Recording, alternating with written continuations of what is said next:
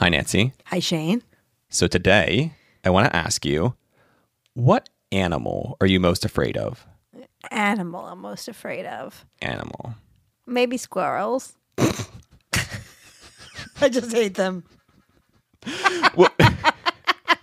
Do you run away? Like, or when they, I, I don't know if girls run towards you, but would you run away from them? Um, I wouldn't run towards them. I wouldn't. I wouldn't interact with them like some of my neighbors do. I don't really understand that. They feed them and interact with them. To me, they're just disgusting. So it's like a mixture of Disgust. disgust, fear, hate type thing. Yeah, I think so. I think so. Okay. Um, for me, uh, I guess for me it's a little bit more traditional in fear. It's a it's a cassowary. Do you know what a cassowary I don't know is? what that is. Okay, so so Google it, or actually, since we are in person, which is really fun.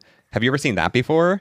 Folks on the thing can't see it; they can Google it. But, No. Okay, so it is. no, that's fine. It's a big bird with a weird. How big is it? It's um well oh good question probably like four feet um so it's terrifying it's like a cross between an emu and a velociraptor and it has even like the the really creepy terrifying claws if you can picture have you seen Jurassic Park the Yes. original one in the beginning Dr Grant finds the claw and he's scratching the child the annoying child with it they have that claw absolutely terrifying cassowary and yeah. they'll come after you with that claw. well, so okay, this is the thing. They're not they're not yes, but they're not in the states. They're native to Australia, but they do have one or two at the National Zoo. And I used to volunteer there.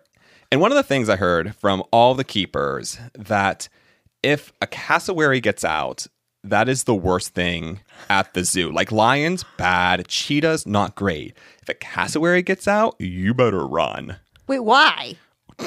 They are deadly Really? Oh, and terrifying. Nah. bum bum bum bum.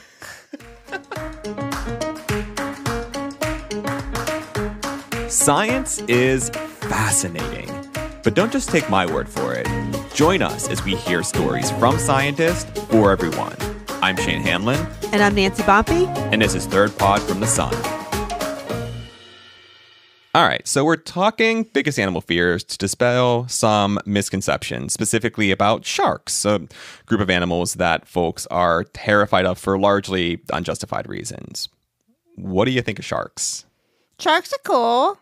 Not like irrationally terrified of them. Do you go I to the beach? No, I don't like really have a. I have never had like an encounter or been scared of him. But I mean, Jaws. That's scary. Yeah, yeah. Actually, just watched Jaws the other day randomly. But I mean, yeah, I can't imagine. I personally can't imagine being stoked if I saw a fin while I was at the beach. But I'm not irrationally terrified of them either. But luckily, folks don't have to listen to us talk about sharks. Today, we do have a real shark expert who can dissuade us of all of, or at least some of our misconceptions. Our interviewer was Ashley Hamer. I am Dr. David Shiffman. I am a marine conservation biologist. That means I study animals that live in the ocean and how to better understand, conserve, and protect them. And I'm a faculty research associate at Arizona State University. I've been interested in sharks as long as my family can remember. I feel like most kids go through a shark thing or a dinosaur thing, and I actually had both of those. And uh, I decided I would rather spend my days on a boat where it's nice and warm than in the, the deserts of Montana digging up bones.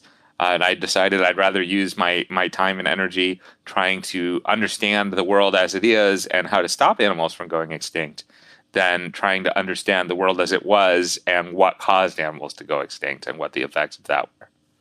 There's always these conversations about how there were sharks long before there were dinosaurs. There were, in fact, uh, sharks swimming in the ocean before there were trees on land. There were sharks swimming in the ocean before Saturn had rings.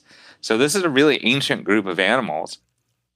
And then, as far as being inspired, are there things that you wish you had seen for inspiration, maybe that exist now or that you're trying to make exist when you were getting started? Yeah, for me, there's never really been an issue with that. As a as a as a white guy, there have been plenty of examples I can look to in the field of and in and in popular media of people who look like me doing what I want to do. Uh, I want to highlight the incredible work of a new organization called Minorities in Shark Sciences uh, that has been doing a lot to change the perception that marine biology and shark science is just for white guys. And they have over 300 members now from all over the world who are early career women of color interested in the field. And yeah, they've, they've, they've done some amazing work. I wish that something like that had been around for a long time, but I'm glad it's here now. So what what what is special about studying sharks for you then? What like what are you bringing to the world in, in studying these animals? So predators are always important at keeping the food chain in balance. Where I'm from in Pittsburgh, we used to have wolves, and we killed all the wolves because who wants wolves in your backyard? Wolves are scary. And now there's too many deer. And the deer spread Lyme disease, and the deer cause billions of dollars in property damage, and deer are sick because there's not enough food for all of them. That's the food chain destabilizing. And we do not want the ocean food chain to destabilize. That is a food chain that billions of humans, including the poorest, many of the poorest people in the world, depend on for livelihoods and food security. So we want healthy food chains, and that starts with protecting the top of the food chain just to keep things from unraveling. It also seems like there's kind of a perception problem with sharks. Isn't that There right? is. Yeah, the subtitle of my book is a, a deep dive with the world's most misunderstood predator. When I give my public talks, I do not have to start with this is what a shark is, because everyone knows what a shark is, but a lot of what they know is wrong.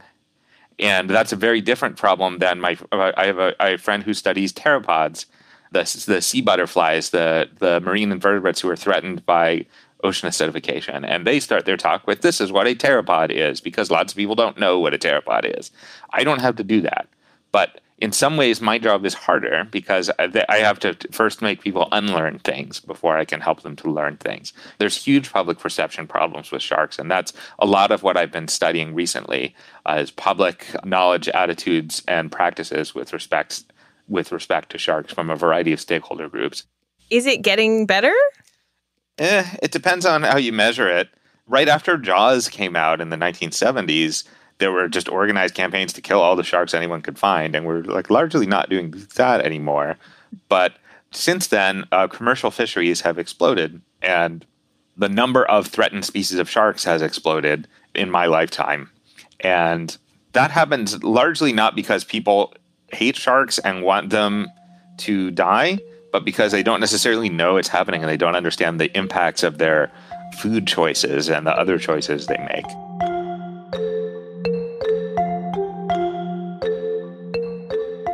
What are some of your like least favorite misperceptions out there about sharks? So that I mean the the classic one is that the only good shark is a dead shark and sharks are bloodthirsty killers and if you dip your toe in a bathtub a shark's going to eat your whole family. And that's not true and we've known that's not true forever. But the pendulum has sort of swung too far in the other direction recently is now you have scuba divers who are saying that sharks are cute, adorable, innocent puppy dogs and they just need love and hugs and kisses and people do hug and kiss wild free swimming sharks. Don't do that. Like there, these are not the only two options here. Like it's Right. a, like you wouldn't if you were hiking and you saw a bear, you wouldn't try to ride it, but people do it with sharks all the time, and that and then other people say they're heroes, and it's nonsense. Right. Got to just treat them with respect, Yeah. but not. It's yeah. a wild animal. Do you have, as far as like your experience with sharks, do you have any memorable or funny experiences from the field?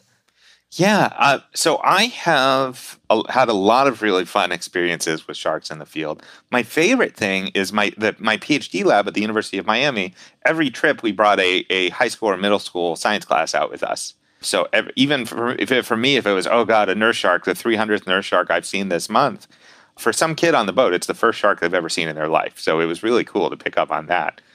But you know, every once in a while, funny stuff happens. Uh, people think of nurse sharks as being, especially people who've been snorkeling or scuba diving in Florida, think of nurse sharks as being sort of the couch potatoes of the sea. They don't really move that much. They're one of the few species that doesn't need to to swim constantly to breathe.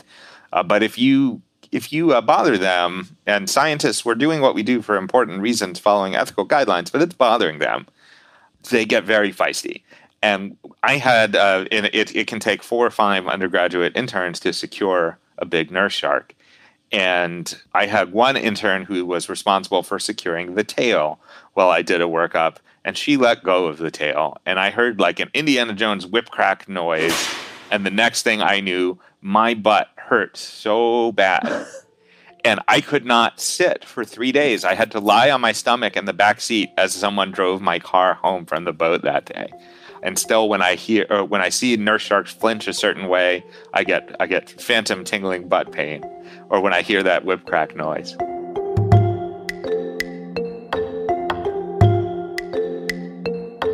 And then, how do you manage work life balance? Not well, uh, I would say. uh, I'm working five part time jobs right now. Uh, it works out that it's only about 45 hours a week of actual work, and some of that is sort of flexible when in the week I can do it.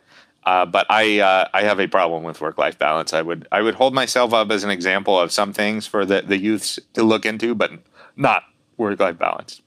I mean, it sounds like this is really your life's passion, though, Yes. so it probably isn't too bad. I, I love it.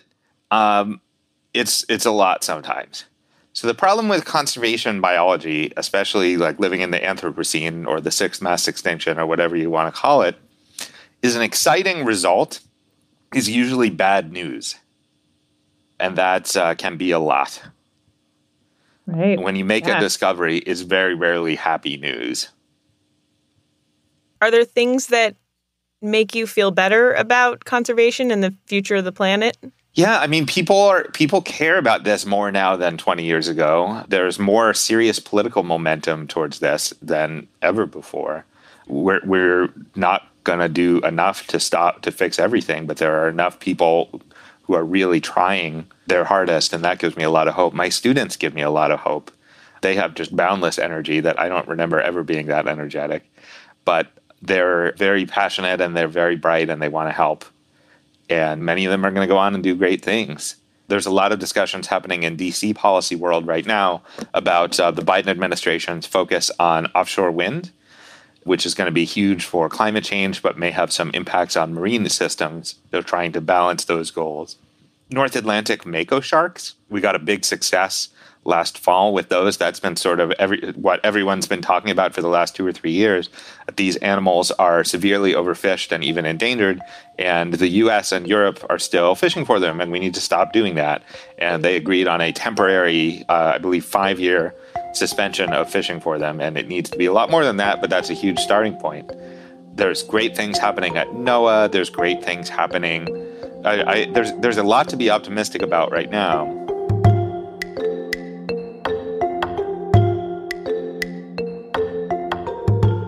I love a happy ending. I mean, is it actually happy? Well, oh, sure, okay. There's still a lot of work to do, but I'm happy there are folks out there like David doing the work. And I want to thank him for chatting with us. And that's it. This is our first episode in our new weekly format. Special thanks to Ashley Hamer for conducting the interview, NASA for sponsoring this series, and to Karen Romano Young for her amazing illustration of David.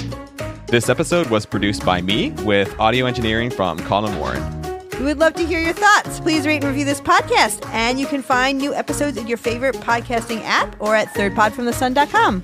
Thanks all, and we'll see you next week.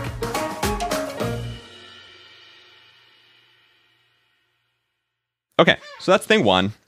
Um, so that's that's your first episode, Nancy. Good How job. Exciting. Good job. You did you did so well. I earned my I'm earning my keep. Well,